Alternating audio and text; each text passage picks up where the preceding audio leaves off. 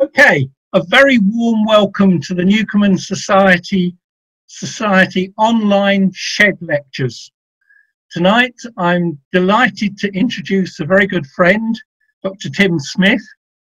Uh, Tim is a metallurgist by background, but he's renowned as an outstanding expert on the global iron and steel industry, having been editor of Steel Times and Steel Times International uh, for as long as I can remember. Before that, he was a, a university lecturer and a copper miner. Tim has been exploring historic iron making sites with the Wealden Iron Research Group for the past 30 years, including, as you'll see in this uh, uh, excellent lecture, conducting experimental smelts in a bloomery furnace using local iron, iron ore local to the Weald, and local charcoal, and of course his deep knowledge of uh, metallurgy. Before I kick off, we're going to take questions at the end. Please use the chat function to indicate that you wish to raise a question, and we will do our best to handle them all at the end. Tim, as the, we would say in a regular meeting, the floor is all yours. Thank you very much, Jonathan. I just hope I can live up to um, to, to, to, your description of my uh, my career. Um, yes, as Jonathan said, um, i moved to this area uh, of the Sussex Weald about um, 30 years ago and um, immediately joined what we call the Wealden Iron Research Group. It's a lot of people don't realise that the Weald was actually the centre of iron making from the very earliest days. It was the birthplace of um, Britain's Industrial Revolution with the first, first blast furnace arriving in 1490. And this led to the Weald becoming the centre of the armaments industry, supplying cannon and shot to the government and East India Company merchant shipping uh, from the mid 1500s. We have a website, and I would recommend that people afterwards at some time have a look at this website. Um, we we have um, a, a, number of publications uh, which are available uh, for free viewing on this website. But also very importantly, we have a sites and people database, which is a, a great boon to enable us to, um, to, to log sites as we as we discover them. Iron Research Group, or WIRG for short, was established 51 years ago. We carry out field programs looking for the iron making sites. We excavate sites under the leadership of a professional, professional archaeologist. We've got several professional archaeologists who are members. We operate an experimental bloomery furnace. We attend events to publicise the historic role of the Weald in the iron industry. We input data to the historic environment record, organise visits to other sites uh, via making interests where structures survive. We hold two lectures a year, publish an annual bulletin and three newsletters a year, publish books. We've digitised two out of print books and we've digitised all our past bulletins.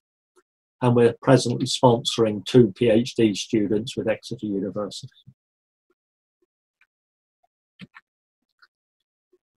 During a period of over 330 years, the Weald boasted 112 furnaces and 109 refining forges. And this map shows that extent of the furnaces. As you see, there's very little towards the south for two reasons. Part of it is the geology. We're running into the chalk downs of the South Downs.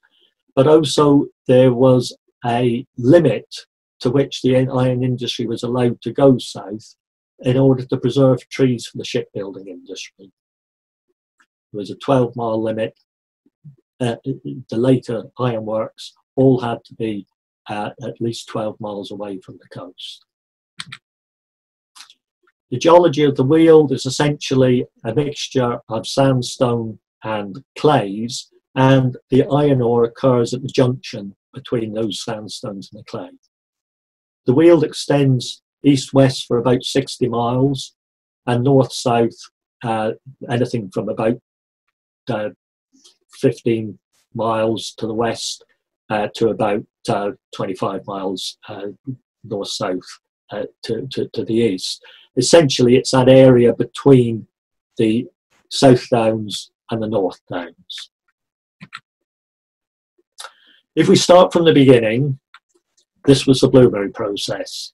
And we have 690 known sites in the Weald, but we're still finding. I had to correct this slide um, since I last used it because we had um, 688 then and we found two more earlier this year. So it's an ongoing thing. We're still finding the, the, these bloomery sites. The sites start in the Iron Age, which was approximately 500 BC in UK. It became industrialized during the Roman occupation from about 42 to 400 AD. Strangely, we have little evidence during the Saxon period of activity. So that's between about after the Romans left up to about 1066. But during the medieval period, um, which overlaps obviously with the Saxon period because you've got the Norman uh, invasion, uh, we, we, we get rather larger furnaces tending to be produced uh, in that later period up to about um, 1500 AD. This is a picture of, in fact, the second experimental bloomery furnace that we built. We're now actually on our third furnace. Um, we have a, a, bit of area on the Ashdown Forest, uh, which is, um, uh, uh, uh, again, as the name implies, a, a well-wooded area, so it's good for charcoal. It's, uh, the furnace is built of local clay, reinforced with sticks and straw. The dimensions are based on an excavated furnace, and that furnace has a hearth diameter of about 800 millimeters, and the height is 1.5 meters. Height is something difficult to assess from an excavation because, of course, the furnaces have collapsed. But we can get an idea of the, um, the dimensions from parts of the walls of the furnaces that we found and how far up the slag goes up those walls. We charge it with charcoal and local iron ore. The product from the Blue furnace is a solid iron. We call it the sponge iron because it's quite, um, it's got lots of voids in it. And a liquid slag. And here we can see some of our liquid slag flowing out of the furnace. This is known as tap slag. The iron is the bloom, hence the name for the furnace. The slag is the waste material, and it's very rich in iron. There's actually more iron in the slag than there is in the original ore. The Blue process was not an efficient process for extracting iron from the ore. But it's known as the direct process as the iron can be forged without further refinement. We only need to consolidate it. It's the, the, the, the carbon content in the iron actually varies. You get a carbon gradient from what we would today consider to be a steel uh, right down to what we would consider to be a wrought iron. So from something like 1% carbon content to about 0.1 carbon content. This is a picture of uh, some bloomery tap slag found in the field. It's heavy and dense, as I mentioned. It's got a lot of iron in it, can contain as much as 50% iron. But that iron is now combined with the silica, which has come both from the ore and also from the furnace lining. It's a very useful hardcore material. The Romans used a lot of it in road building, but farmers use it for around gates and later uh, Victorians have used it for road building, uh, for road building, uh, uh, and it's a good foundation for housing and so forth. So the problem is that it's very difficult to assess the size of a bloomery site because nearly all of them have been robbed with a high, high proportion of that slag. But it is the slag that we're looking for when we're looking for the sites of the furnaces. For the, those of you who like a little bit of metallurgy, um, these are micrographs of the tap slag, uh, both at the same magnifications, about 460. The white dendritic materials, rather like a backbone there, uh, is, is wustite, FeO, and that's the material which makes the iron in the blue. Um, so as in a case like this, we can sort of assess to some degree the efficiency of the process by the amount of wustite that remains. Uh, the micrograph on the right is much coarser, and that's because that slag has solidified in the furnace, so it's cooled much more slowly. All the background material is this iron silicate, which is uh, known as fayalite, and as I said, uh, that, that iron is not available for, um, for further extraction. We have a hot bloom here, which has just been taken out of the furnace. That will still have quite a lot of slag surrounding it, so we start off by gently tapping it uh, on a wooden anvil using a wooden mallet uh, so as not to chill it. As we start consolidating it, uh, we start to get more vicious with it. Um, we keep reheating it in, in a small forge that we have on the ground. And um, we then start using steel hammers and anvils in order to consolidate that material. The main products from the Bloomery furnace would have been armaments. This always seems to be the leading uh, aspect of any technology. Arrowheads, spearheads, swords, and we have records of you know so many thousand arrowheads having to be supplied to such and such a place. Body armor, chainmail, sheet armor. So if you go into an ancient house or museum or something like that and you see armor, then nearly all of that armor would have been made from Bloomery iron. Horseshoes and ox shoes, very important for transport barrel hoops. Barrels were used not only to store liquids, but also uh, for, for foods, particularly on board on board ship. Nails, saws, drills, edges for ploughs, edges for spades. These are all examples of bloomery iron. The raw material, our local ore is a siderite ore, that's an iron carbonate ore, typically around 40% iron content and the other material is charcoal. The name Weald actually refers to the German uh, name uh, for, for, for a, a forest. And um, there was plenty of wood in the, in the vicinity, which was, uh, was the other raw material. The ore occurs in layers. Uh, on the right, we have a picture of a layer uh, which has been exposed in a local brick quarry. And on the left, we have uh, some idea of the different layers. And this comes from an iron master back in the um, 16th century. Uh, and these names uh, were given, and, and, the quality of the ore varies a lot from area, uh, from depth to depth. So this would have been mined normally with a shaft furnace, which could be uh, three, four meters in depth. Recently uh, housing development was being carried out and uh, all the areas had to be checked um, for archaeological remains first. And this was a particular arable field and no sign whatsoever of any mine pits until the surface was stripped off and then something in the order of a thousand mine pits on a five acre site were discovered. They were per perfectly circular, six foot or so in diameter, and those were evidently the extraction pits, and they averaged in depth to about 12 feet. Parallel sided, some with slightly inward taper, tapered walls. There were much smaller exploratory pits. On the measurements, they appear to be only about a foot in diameter, but still going down to 10, 12 feet. So we believe that the ages must have slumped because we can see no way that you could have dug a shaft that narrow to that sort of depth. One of the important things to note is that these pits are not bell pits. They don't open out at the bottom as unfortunately it's been recorded in some of the earlier literature. For ore preparation, we wash off the clay, break the ore up into pieces 25 to 50 millimeters or so roughly in size, and that can be hard. So the ore varies an awful lot in hardness depending on the silica content. We heat this up to 800 degrees plus, either in a cover pit or an oil drum, so we have alternate layers of wood and ore and ignite that.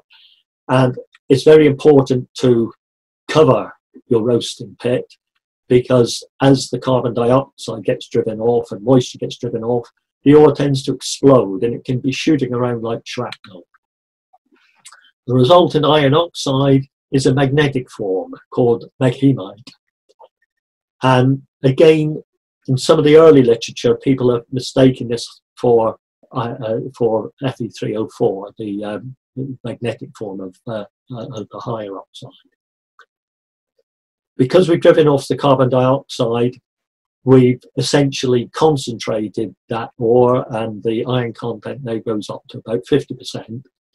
And what's very useful to us, it makes the ore porous, which means that it's easier to reduce. The gases from the furnace can get into the pieces of ore. We break that ore up now into pieces 10 to 20 millimeters diameter. We're actually for the smelting, we first preheat the furnace normally the day before and overnight with, with wood.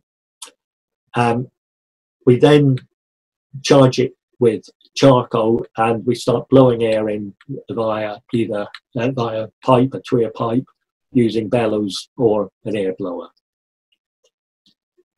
When the top of the furnace, or near the top of the furnace, gets to about 700 degrees centigrade, we start charging ore, normally at one kilogram at a time, and one then one kilogram of charcoal.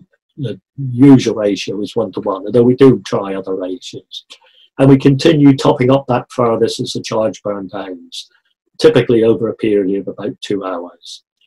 And then we carry out um, a, a, final burn down by adding some more charcoal, two to three charges of charcoal. And after about the first hour, we do start tapping slag from the base of the furnace, and that goes on during that burn period. This is a section of a bloom, and you can see here plenty of iron, but also plenty of porosity.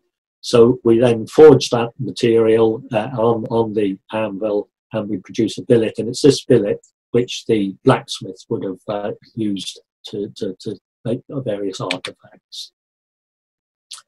Periods of the Weald Bloomery, we've got 690 known sites at the moment, um, of which 217 have been positively dated, largely by pottery, but um, also um, we have had some dated by carbon 14. Um, so we've roughly got the same number of Iron Age and medieval um, sites. Uh, Roman sites dominate, 62% of the dated sites are Roman, and uh, we've got very few Saxon sites, about 1% or so, three, three of these sites we've been able to positively identify as Saxon. We now move on to the more later technology, which is the blast furnace. The blast furnace came to the UK in 1419 by technology transfer from the Bologna district in present day Belgium. And immigrants from the Pays de Bray, uh, present day France, were invited to set up furnaces by Henry VII. On the illustration that was drawn by one of our members, here's the actual furnace itself. Um, this is driven by a water wheel uh, we've got a leat carrying the water in, driven a water wheel here, which drives bellows in the bellows house, which produces a blast, hence the name for the furnace, the blast of air. The hot metal and, uh, uh, and, and slag will come out through the casting house here. Uh, we're charging over a bridge, normally at a, a higher elevation to the furnace, and we have a large charcoal store um, uh, these were very large buildings because you had to store your charcoal in discrete heaps, otherwise there was a risk of spontaneous combustion. We don't really, well, we've only got one evidence of what a Wealden furnace looked like, and this is on the back uh, of a cast fireback uh, dating from 1636, where the ironmaster Richard Leonard um, showed the tools of his trade, and in the corner here, a picture of the blast furnace, at least of half the blast furnace, and here's a detail of that furnace. We've got timber reinforcings here, and you can just make out, I hope, uh, the stone had been cut here to give a, a, a, nice surface finish to the furnace.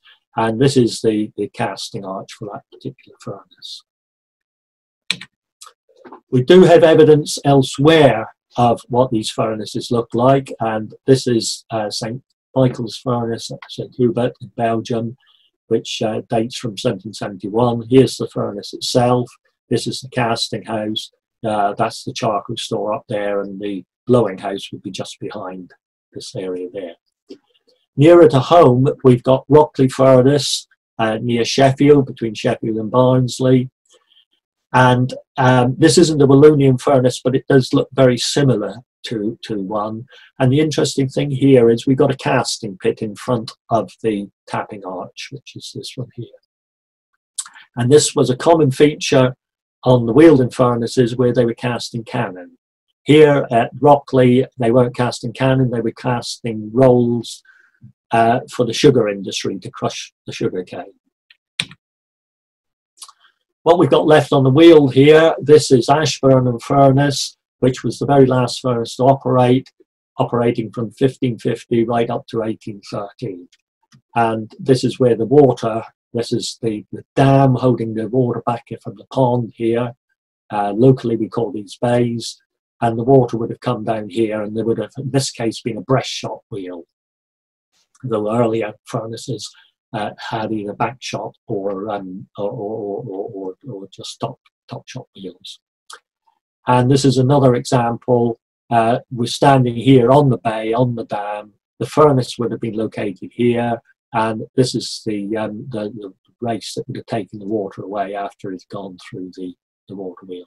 This big bit of pipe here is to protect the bay at the moment because unfortunately it was damaged by uh, agricultural traffic being driven over it, and we're at the process of raising money to repair it now. What we tend to find, because it's not a great amount of extant material available, but we find the slag, the blast furnace slag, and this is a layer of blast furnace slag in the bank of a stream or a small river actually.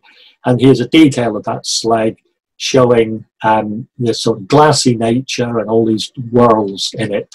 The, the, the slag on the Weald tends to be very dark, uh, generally very dark greens or, or, or, blacks, but elsewhere you can get very bright blue, sort of azure colours uh, of these slags. It seems to depend on the degree of oxidation of the slag. Water, as I said, was the source of the power. These are bellows at that uh, St. Michael blast furnace that have been rebuilt. They've obviously used canvas in this case, but we know on the Weald that they prefer to use um, in the various inventories that we get. Uh, there's the reference to repairing bellows. This is a picture of um, from again by one of our late members of what um, the casting area of a blast furnace would have looked like. Here we've got the water wheel, which in this case is a backshot wheel, which is very interesting because in Sweden they built a reproduction uh, early 13th century furnace and um, they were discovering uh, problems uh, with the water splashing into the casting house or around the casting house and you certainly don't want water and hot metal mixing together. Um, and, and they've had to switch to a backshot wheel. So uh, we think this is quite logical. And here we're illustrating uh, some of the cannons being cast. Uh, this is a head for the cannon because you have to allow for the shrinkage of the metal as it solidifies, cannonballs, and so forth. The product from the furnace were either these big sows, um, two to three meters long, weighing anything from half a ton to a ton. And this is what would have gone to the forge for refining. Other products were direct. These are a, short example of St. Paul's railings, um, where the balustrades here are cast iron and the finials are actually wrought iron. And the interesting thing is we've got the inventory uh, for, for the casting of this, and uh, it records that 270 tons were cast at 56 pound a ton which was actually three times the price for casting cannon. And cannon were an expensive thing to cast in the first place. And the irony is that apparently Christopher Wren didn't want railings around St Paul's Cathedral. It was the church commissioners that um, insisted on it. There's a traditional Sussex rhyme that runs Master Huggett and his man John, they did cast the first cannon. And this dates from about 1574 in the reign of King of Queen Elizabeth I. In reality, we believe that they probably only cast the breech of the cannon and the barrel itself was wrought iron held together with hoops. That would have been the very earliest of these cannon. Later on, complete cannon were cast. Um, I'm calling it a cannon, but for if we want to be pedantic, this is actually a demi culverin and would have fired a ball of about eight to nine pounds in weight.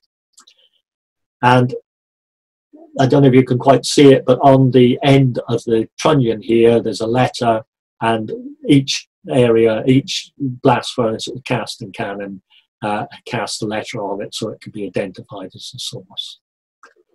Cannon were cast hollow and vertical, and then reamed out to make a relatively true bore. Shot itself was easier to, much easier to cast, and any blast furnace could really cast that. And there was, of course, a great demand for, for shot.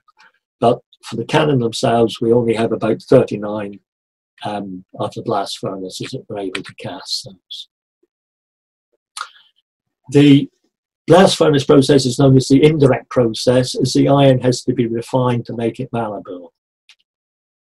The, car, the, the iron that comes out of the blast furnace has got about 4% carbon content and it can come out in two forms depending on how you're running the blast furnace. It can be grey iron, with which has got free graphite in it, and it's, it's, it's not exactly ductile, but you can make usable um, items out of it. But white iron, which is extremely brittle, and the carbon there is combined as iron carbide or cementite Fe3C, and that is much more suitable for refining in the forge. If we look at the periods over which the the um, blast furnaces were operating, the blast furnace and the forges, the furnaces are in blue and the forges are in red, then we see this peak from about 1550 to uh, uh, nearly 1700. This is when the majority of activity took place, and then it tailed off, came up slowly, and then tailed off again. The forges, this is a picture of a um, Walloon refining forge uh, dating from 1794 in Sweden and Österbybruk. And the characteristic thing is that you've got two chimneys here because you had two heart in the forge and a hammer. So you actually had three water wheels, two sets of bellows, one for each forge, and a hammer. So actually the forges required a lot more power, a lot more water than did the blast furnace. I showed you those long sows that were the iron to be refined, and you can't very well load a, a hearth with a ton of iron, so they had a hole in the back of the wall here which went into the back of the refining hearth, and you burnt off the tip of that sow bit by bit uh, and refined it. This is a picture from the Diderot um, Encyclopedia of a forge. We can see here the refining uh, forge with a hole in the back and the sow being fed in. And here's the hammer, which is being operated uh, by a water wheel. These cams are lifting up this, this uh, shaft of the hammer, and this is a spring to help push it down. If we see one in reality here, um, this is um, this is a hammer actually in Sweden, but um, we have something very similar, for example, at Wortley Forge just outside Sheffield, and a much smaller version um, at Finch Foundry, which is a National Trust foundry uh, near Okehampton in, in Devon. But uh, the product from these forges were this bar iron. This is bar iron, several meters long, very close dimensions were, were attained under these anvils, a lot of skill. And this is a sort of material, this would be very low carbon material, less than 0.1%. And this is a sort of material, for example, would have gone for the, uh, the cementation furnaces in Sheffield for making steel to increase the carbon once again uh, by diffusion. If we compare the water-powered sites um, with the bloomeries, this is in East Sussex because I've been inputting a lot of data from East Sussex here. See this vast concentration of bloomery sites. Normally the bloomery sites are associated with water, but only small streams. You needed water to mix the clay, you needed water to clean the ore, you needed water to water to refresh the um, the, the, the, people operating the, the, the, the bloomery forge. Whereas with the blast furnaces, um, you needed water again, but you needed more water that you could dam to make the ponds to drive the water wheels. If we look at the different types of powered sites on the Weald, bloom forges were bloomeries, but they were, they were water powered bellows rather than hand powered. And we've got very few of these. And essentially, they probably grew into the blast furnace because as the bloom forges got taller and taller, they got bigger and bigger, they got taller and taller, it meant that the retention time of the iron that was formed near the top of the furnace was much higher. And that meant that it picked up carbon from the charcoal, from the charge. And as you pick up carbon, you lower the melting point. Pure iron melts at about 1550 degrees centigrade. Iron with about 4% carbon, which is blast furnace iron, melts at about 1200 degrees centigrade. And this is the reason why you get molten iron out of a blast furnace rather than out of a bloomery. A bloomery can reach those same sort of temperatures. We've measured it with a pyrometer. But, um, but, but it's because of that much higher carbon content of the iron in the blast furnace that's melt, that lowers its melting point that you get molten iron. We have roughly the same number of refining forges as blast furnaces. Um, occasionally, if the pond was big enough, the forge and the blast furnace would be on the same site, but more often than not, the forges were on a different water system, uh, somewhere close by, within a mile or so, um, because you had to carry those those big big sows across the forge. Gun foundries, um, we got something like 39 of those, uh, so it was a very specialist area. Boring mills to bore out those guns once they were cast. Uh, fewer of those because one boring mill could um, could supply uh, several gun foundries. And occasionally, um, well, we got two brown, bronze foundries because sometimes they used the blast furnace to melt bronze to cast bronze cannon. The Navy tended to prefer bronze cannon because they were less likely to disintegrate, uh, which occasionally happened with the iron ones. Um, but it was much more expensive and they were actually heavier uh, cannon. Okay, to wind up now, um, Rudyard Kipling, he was a resident of East Sussex and he wrote, Gold is for the mistress, silver for the maid, for the craftsman cunning at his trade.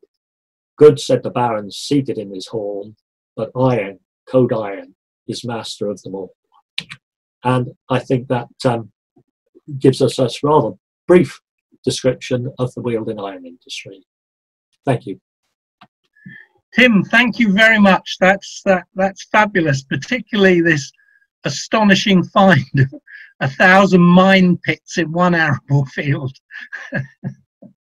I, as you say, you wouldn't want to buy a house. I, I wouldn't. No, no. They did warn the builders, but um, that's it. Make a great TV documentary in 20 years' time, The Disappearing Housing Estate. Yes, um, yes. On a more serious note, can I have the privilege of the first question?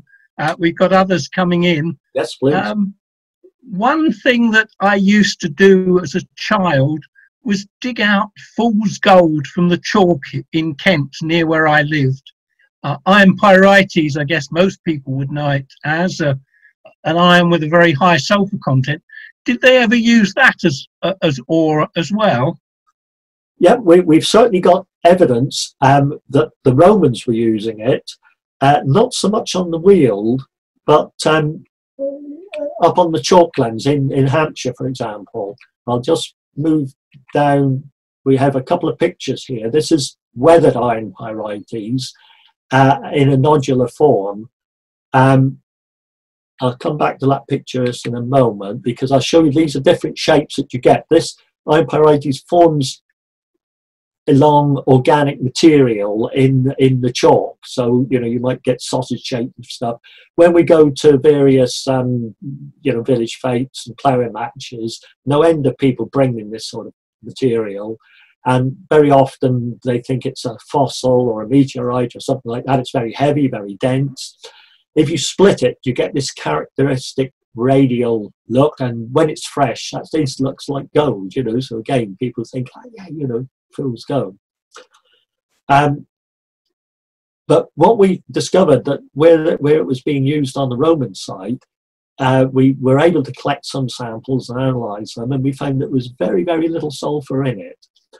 The sulfur had weathered out. It had formed in the chalk, but the chalk was uh, about 60 odd uh, feet below the current ground level, and these were surface finds.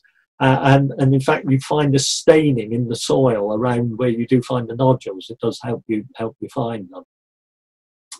Um, whereas if you get fresh iron pyrites, for example, eroding out of cliff faces that you sometimes find on the coast, that's still high in sulfur, and that would be no good. Uh, one would have thought that you could, by roasting that material, uh, use it for iron making, but we found that it powdered up to such an extent that it would tend to block up the bloomery furnace. If I just go back to that previous picture, what was more intriguing was that we also found very occasionally, but spread over a wide area, these hematite nodules or kidney stone. Now normally this forms in igneous uh, areas of rock, um, and how the Dickens did it get down to the Weald. It wasn't, people didn't just bring it there because, you know, it's been spread all over, you know, the, the, the whole of the Wealden area. Rare, but fine signs. So what we suspect is that because the ice um, cap never reached that far south, that it was brought down by meltwater from areas such as Cumbria or, or, or North Wales. But it is intriguing, and we're always on the outlook uh, for, for this sort of material. So it probably was never used as an ore because there wasn't sufficient of it. But um, it is quite quite interesting that uh, we, we do have these little finds of it.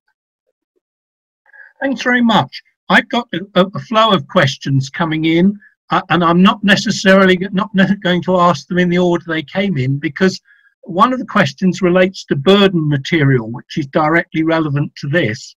And Ian Hoos asks, was local flux, uh, was local chalk used as a flux? You didn't seem to mention flux. No, I, I, I, the iron ore was rich in um, uh, calcium carbonate anyway. Right, and I think here we are. Ah. Um, yeah, I should have mentioned flux. That was the other other important aspect with the blast furnace. That by adding the calcium-bearing material, that combines with the silica in preference to the iron, so you get a much better yield of, of iron. And there were two types of flux that were used. Um, Cyrena limestone, and this is this is the lime area here, and this is a bit of ore under it, and this was found uh, towards the bottom, tended to be found at the deeper levels uh, of, of the shaft pits. Um, and that would be a very effective flux. I mean, essentially, you've got a self-fluxing ore by yeah. using that material. Uh, it basically, it's uh, it's shells which are trapped um, within the iron ore, high concentration shells. But chalk was certainly readily available from the South Downs in particular and North Downs to a lesser extent. And some of the earlier writings did refer to the use of chalk uh, uh, uh, uh being charged into the blast furnace. I mean, I know it's just a mistake, they must have meant limestone. But we then found a letter in a paper, in a newspaper from about 1850, um, from the boy of the furnace, of that ash Burnham furnace, which was the last furnace to operate in 1813, and he specifically referred to them charging chalk into the blast furnace. So yes, it definitely was used uh, as a flux as well. And in fact, I've tried it in the um, in the Bloomery furnace, and it certainly makes the, the the slag flow very much better. I can't say that it obviously gave us a better yield of iron, but it is something we want to go back to and um, try try with a little bit more detail. Well, thank you, Ian, for that question. It rather reminds me of iron making at Scunthorpe in the bad old days when they used to quarry the iron ore locally and get the limestone for free. It's a very similar sort of position, isn't it? Richard Williams is, is online too, and he came up with a really interesting question about the size of sows, pointing out that uh, in, in, the, in the Low Countries, the sows were much the same size as the ones that you mentioned as being uh, cast, presumably sand cast from the blast furnaces. Was there in effect a, a standard size that was, was traded or what? Um, well, I don't think it was so much that they were traded because you tended to get the same biomaster running both the forge and the oh. and the blast furnace. Um, we, I, I, mean, again, I cheated a bit. Those um, sows that I showed were actually from um, Österbybruk in Sweden, but we have found parts of these these sows in um, on the Weald. Uh, one of which is actually about three meters long. Um, and and you know we we've also you know found the end, so we know roughly what the cross sectional area where they tend to be cast in this sort of triangular shape, uh, possibly a bit more triangular than those that I, I showed in the picture. Um, and I think they were probably aiming to, to, to cast as large a sow as they could carry, so something close to a ton. But obviously, you know, you might be running out of iron, so you might have done uh, uh, done one one large sow, and then the second one's a bit smaller because you've simply run out of iron. You know, most of these furnaces could could only tap uh, maybe up to a ton at a time. And they'd be run out into beds yes, of into sand. sand yes, green sand was readily available, of course. Sorry, what? Green sand was readily available. Oh yes, yes, yes, yes. They would be running out in the green green sand. Right. Well, we've still got. uh, this has obviously excited a lot of questions. One that interested me too, um, uh, from Sue and Mike. What? How did they actually bore the cannon? What materials did they use? Because of course, iron is a fairly tough material. So, so how would how would uh, what what what tools and what materials were used for that process? We've, we've actually found a boring rod and it had a three cutting edges made of steel on it. Steel was actually being made uh, on the Weald. Um, in fact, there's a paper in the HMS Journal uh, analysing that cutting cutting uh, rod and the cutting head. But um, yeah, it, it, was.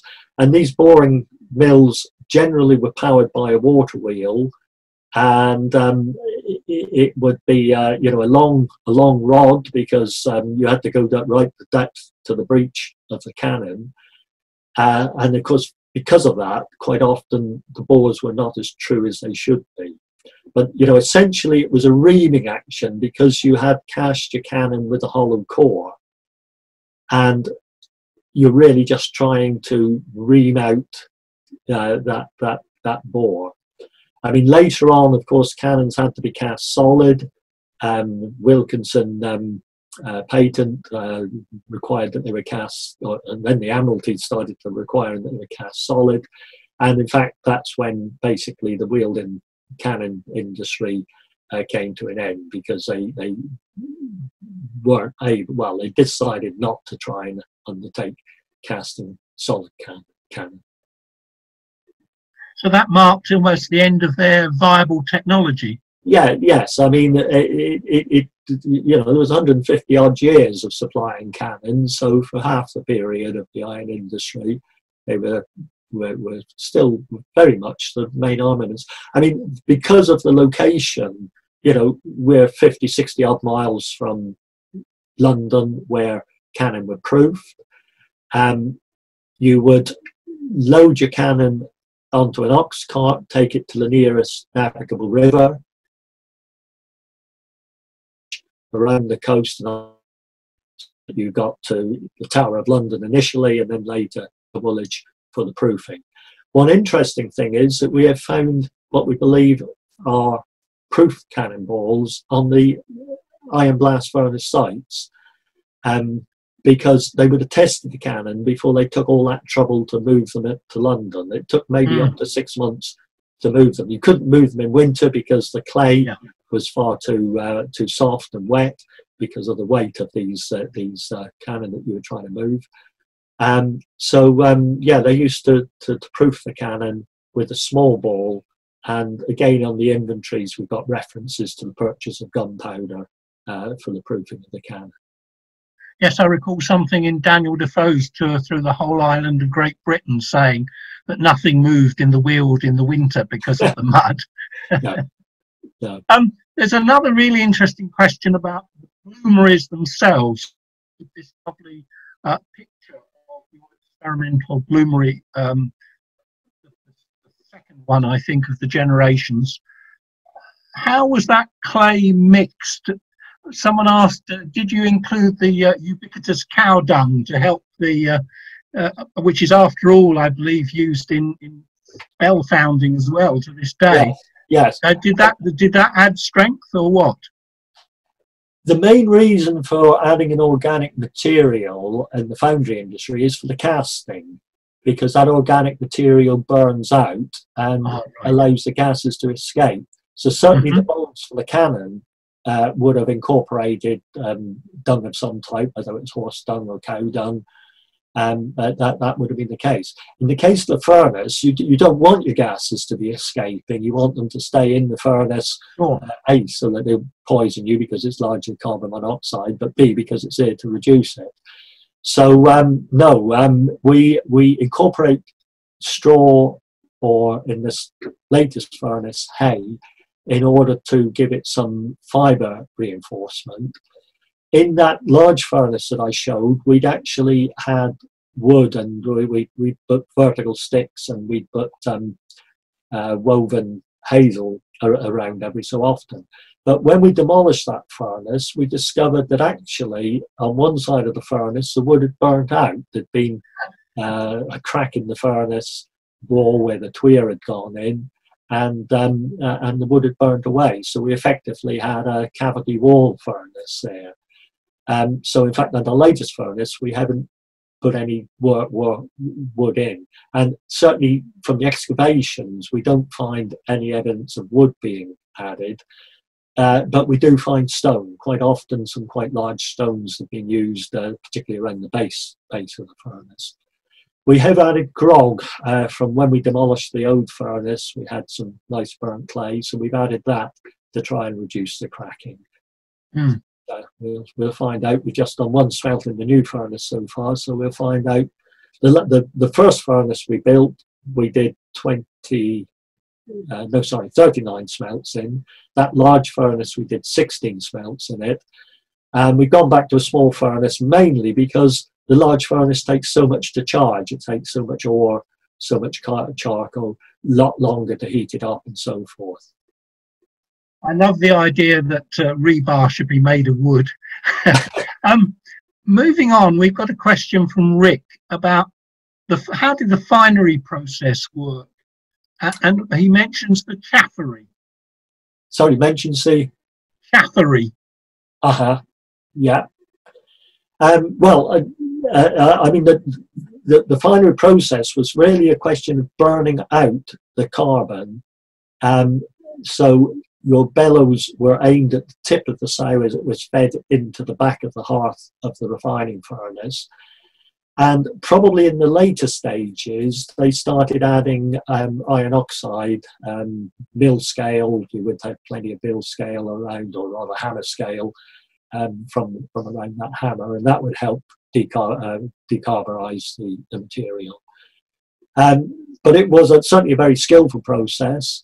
In the later hearths, um, there's evidence that they had um, uh, an iron sheet, an iron floor to the hearth, and they were water cooled underneath. But the earlier ones, no, um, it would be purely a, a brick hearth, and um, it relied very much on the skill of the refiner uh, to, um, to, to, to reduce that carbon content. And once that carbon content was reduced, uh, and the the um, loop was taken under the hammer and started to be drawn out into a bar, it would then be reheated in the chaffery furnace, which was a separate um, separate hearth.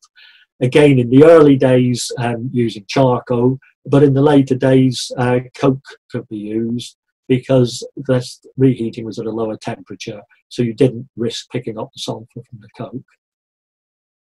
That's fascinating because that, that suggests a remarkable continuity in, in, in iron refining processes, doesn't it?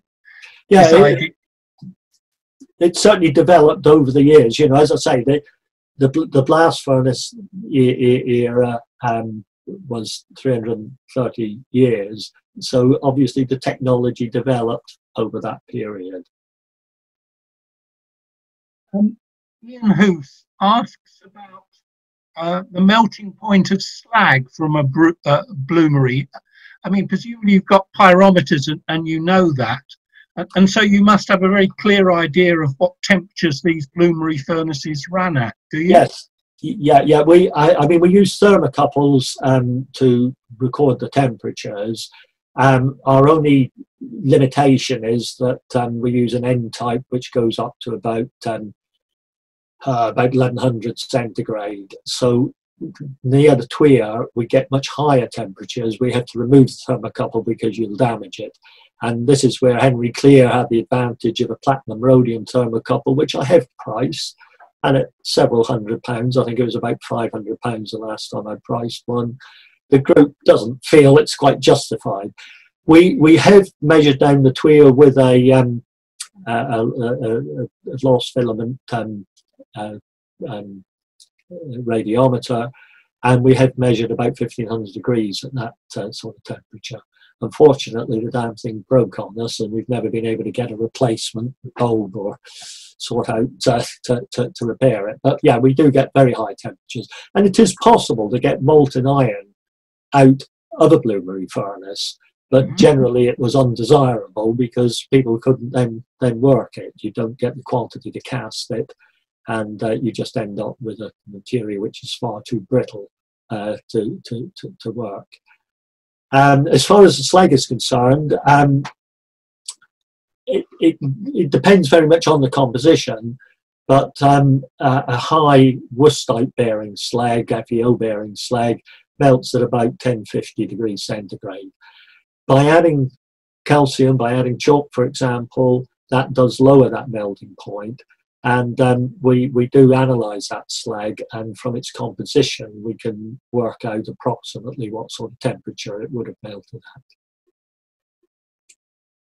But of course, that slag can't be used to exploit further iron because it's so locked in oh, with the silica. Yeah, not on the Weald. I mean, this is an interesting thing because we know, for example, on the Forest of Dean, they were exporting slag, uh, bloomery slag, to um, to Ireland for the blast hmm. furnaces.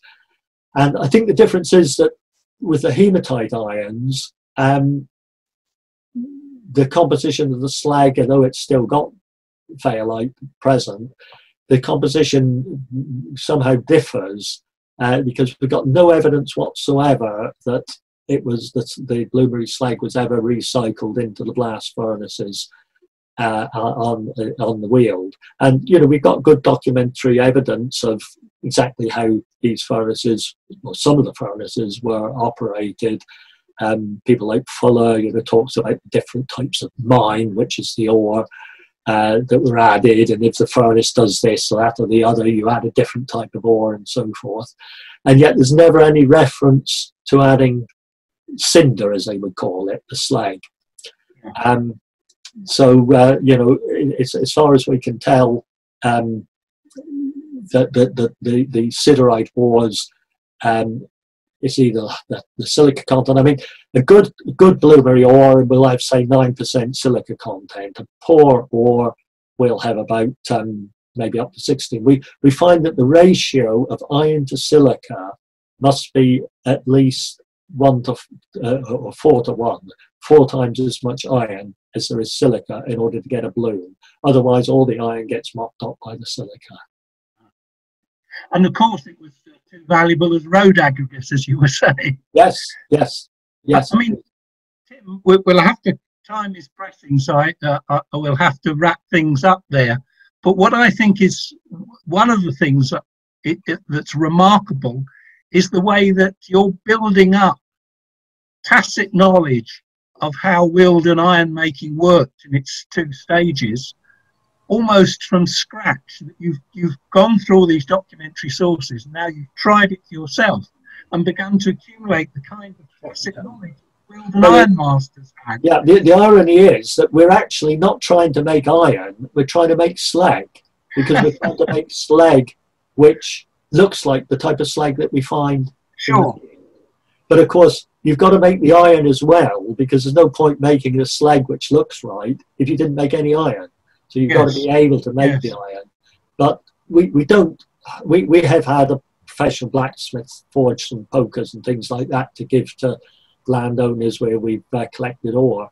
But um, it, it is a slag, and, and, and we're trying to produce this sort of fairly dense slag. Of course, the slag we find in the field has been weathered for, you know, could be 2,000 yeah. years um, so we can't be sure. But our, our, latest attempts at making slag have been, in fact, very successful, uh, very heavy, dense material, and uh, the microstructures are beginning to look much more like what we find in the field.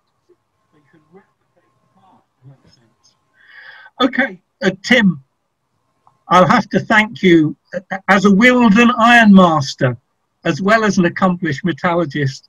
Thank you for a splendid and a beautifully illustrated talk and for volunteering to give it online to us when we'd, we'd promised to wine and dine you and give you an excellent meal uh, here in Manchester, but no, you're, you're having to stay put in your own library.